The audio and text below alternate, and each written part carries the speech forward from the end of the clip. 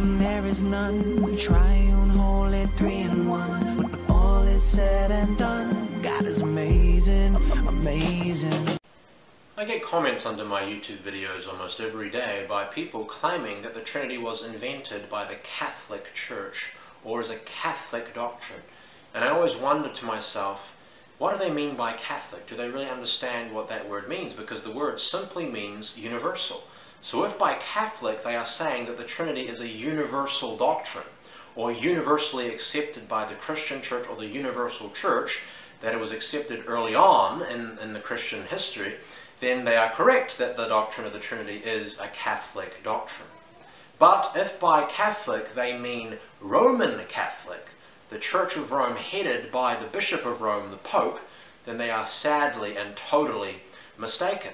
Because when the, the, when the Trinity was first used, the word, the word Trinity was first used only a few decades, or several decades, about six or so decades after the Apostle, uh, Apostle John died, it was accepted by the church. It was used very early on by Greek and Latin writers. At least 15 different Christian authors used the word Trinity with favor. The church never condemned or rejected the term. The first Roman Catholic Pope didn't even exist. No one was even called Pope at the time. No one was even called the Vicar of Christ or the Pontifex, uh, Pontifex Maximus at the time.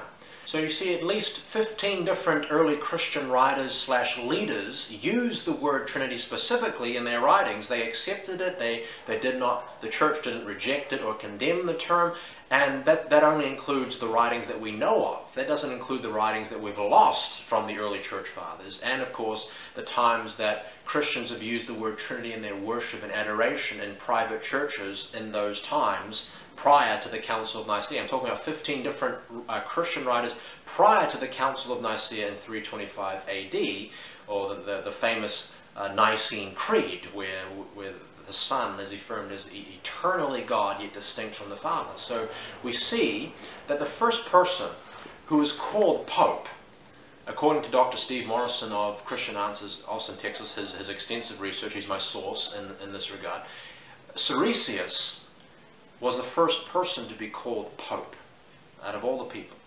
And he wasn't even born at the Council of Nicaea. He wasn't even born. And in fact, if you go to the Second Council of Nicaea in 381 AD, the same person, Siricius, wasn't even crowned or inaugurated as Pope yet.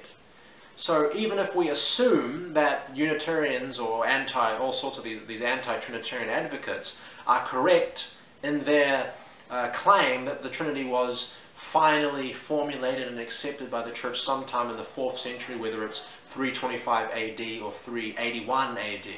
Uh, the first person wasn't even called Pope. How can the Roman Catholic Church exist without a Pope? How can they exist? Moreover, many people would argue that Siricius wasn't the very first true Roman Catholic Pope, but that the, the very first true Roman Catholic Pope was actually Gregory the Great, crowned in 590 AD, due to his ruling influence that he had, and also the titles that he received, those special titles, especially uh, Pontifex Maximus. So many would regard him as the true Roman Catholic Pope, and that's centuries after the Trinity was already established as the orthodox norm, the standard view of God. So long before anyone was called Vicar of Christ, long before anyone was called Pope, or Pontifex Maximus, the Trinity was already accepted as the standard orthodox, correct biblical view of the Godhead for the Christian church. So this idea that the Roman Catholic Church invented the Trinity is totally false. It's a myth, and it is assumed by so many very ignorant people.